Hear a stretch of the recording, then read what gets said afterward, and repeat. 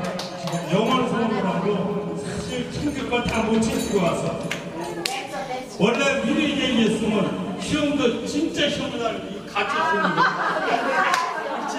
이거 좀 엑스만에 아니 영월 소원학교 여기서 그냥 갈 수 없잖아. 내가 그래서 여러분들한테 창가를 하나 또 불러줄 거야. 창가 시험 뛰니까 열아홉 살 같다. 여러분들